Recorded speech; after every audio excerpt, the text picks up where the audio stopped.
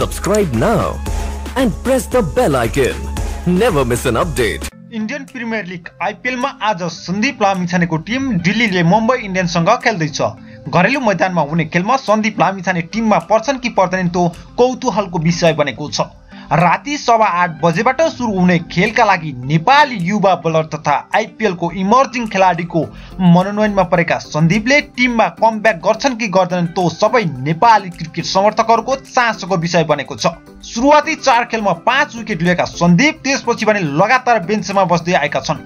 पछिल्ला चार खेल खेल्न नपाएका सन्दीपका लागि पनि टिममा कमब्याक गर्नु निकै महत्त्वपूर्ण हुनेछ। दिल्ली यो सिजन राम्रो लयमा देखिएको छ। उसले आठ खेलमा पाँच जितका साथ दस अङ्क बनाउँदै लिगको दोस्रो स्थानमा छ।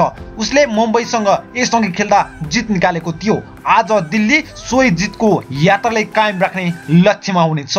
आज दिल्ली वा मुम्बई जुन पनि टिम विजय भएमा शीर्ष स्थानको चेन्नईसँगको दूरी दुई अङ्कमा जानेछन्। गए राति भएको खेलमा चेन्नई हैदराबादसँग छ विकेटले पराजित भयो। प्रतियोगितामा उसको दोस्रो हार हो। नियमित कप्तान धोनी बिना नै मैदानमा उत्रिएको चिर्नेलाई हारको स्वाद चखाउन डेभिड वार्नर र राशिद खानले उत्कृष्ट प्रदर्शन गरे Thanks for watching. Do not forget click the subscribe button and hit the bell icon. Like, comment and share. See you next time.